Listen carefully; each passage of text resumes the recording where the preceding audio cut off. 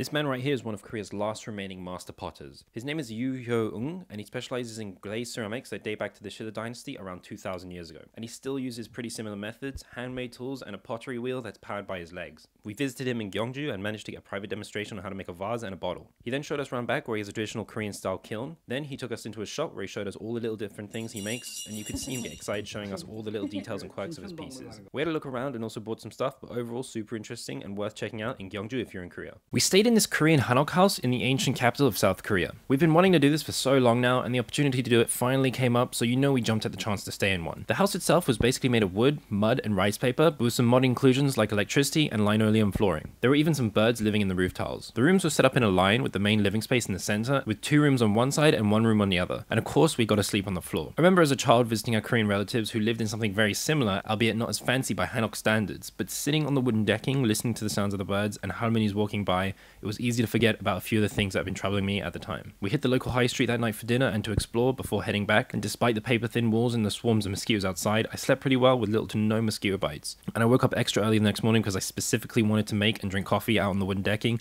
and it was everything I imagined it would be.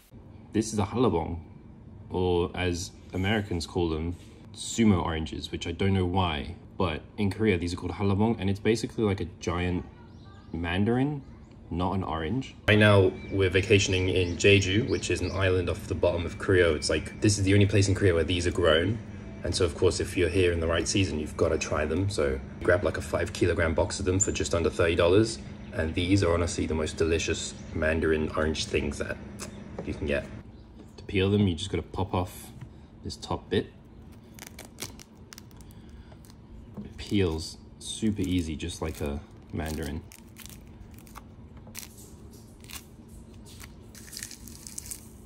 They just look like a giant mandarin or satsuma or tangerine, whatever you want to call them. I think these are seedless too, so show them.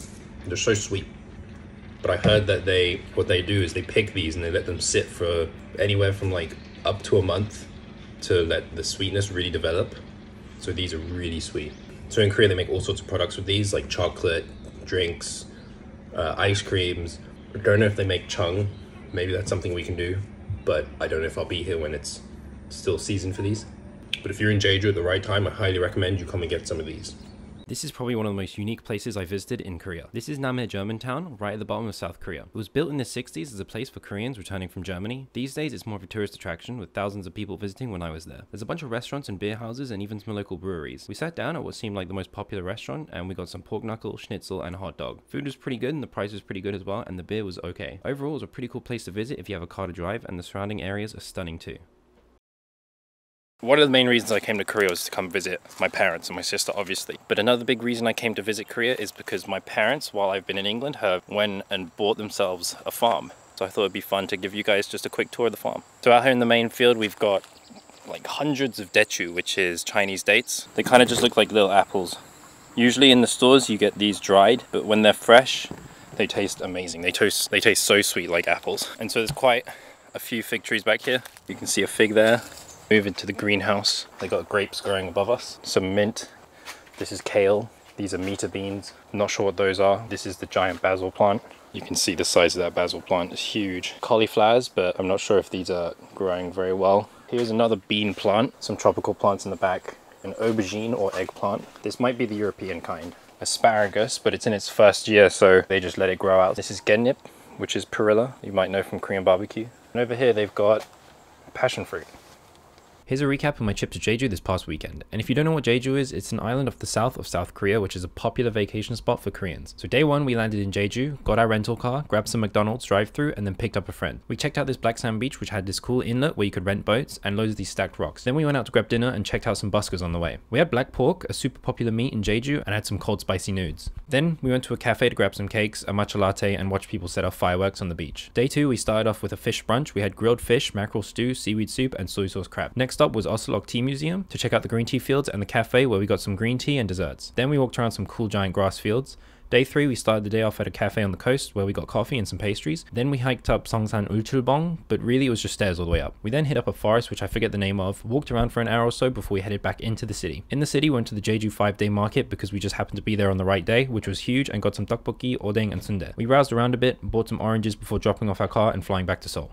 This place is like the Tsukiji market of Korea. It's called Noryangjin, and it's a popular spot if you want to eat some fresh seafood in Seoul. However, there's a system in place if you want to eat some fresh seafood. On the ground floor, you'll find the main marketplace, with hundreds of stalls selling all sorts of seafood. That is, pre-COVID, now only a handful of stalls are open and close by 9pm. Once you buy your seafood from a stall on the ground floor, someone will guide you to a restaurant where they'll prepare all your fresh seafood for you. All they charge is a seating fee, drinks, and any extra food you order from them. I went with my sister, and together we got this plate of mixed sashimi with mostly local fish, but they also added some salmon. We also got some quote-unquote live octopus. It's actually completely dead, but still wriggling. Then we bought some fresh prawns, which the restaurant grilled for us, and to round it all off, a spicy soup made from the remains of one of the fishes we had for sashimi. This is the best beef you've probably never heard of. This is Korean Hanu beef, which is only really sold in Korea. This is the highest grade of Hanu beef you can get. For 900 grams, this cost about $120 for various cuts.